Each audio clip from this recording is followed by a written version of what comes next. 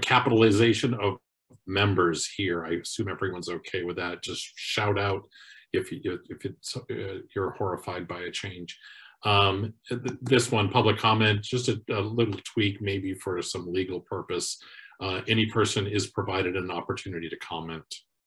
Um, Anna? I really like right to speak. I think that it is their right. Um, I don't know who instituted this change. Kylie, do you have any input on that? I, or Lori? yeah, go ahead. Are we on? Had to answer the phone. What item are we on right now?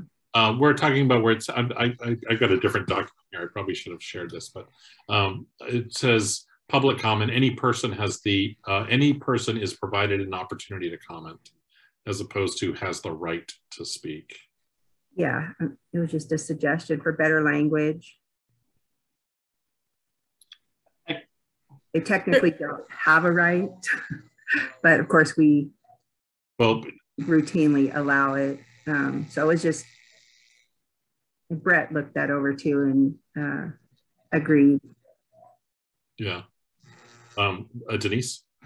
I want to clarify that. Thank you for that, Lori. Um, is it true that that there is nothing that states that they have that right and that we are giving them that? Because I mm-hmm. I mm-hmm. actually mm-hmm. agree with Council Member Mockler on that.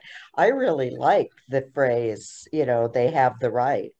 Mm-hmm. Um, they don't. It's empowering, but if they don't, then we're leading them to believe that they have this right. I don't know. I just wanted to make sure I was uh, knowledgeable about whether, or fact, that you know, right is in, inherent as a citizen. Yeah. Thanks, Quinn. Yeah, I if, if they actually don't have the right, I'm I'm from better precise language um, if it's just an opportunity. And also the the change seems more inclusive, uh, including people that might need to sign or use assistive technology um, and are unable to actually speak. All right, Jeff. Uh, suggest any person shall be provided an opportunity just to bridge that middle gap and it's a little more forceful. Okay, Anna. Any person has the right to address.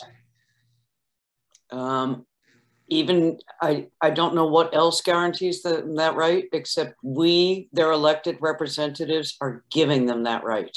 These are our rules and procedures. We're giving them the right to speak. Thank you. Jennifer? What is our procedure for ADA compliance for deaf uh, individuals, for instance, um, uh, mute? What is our practice for public comment um, at a city council meeting? I know, I mean, there's, we can get letters, you know, emails, but what's the practice?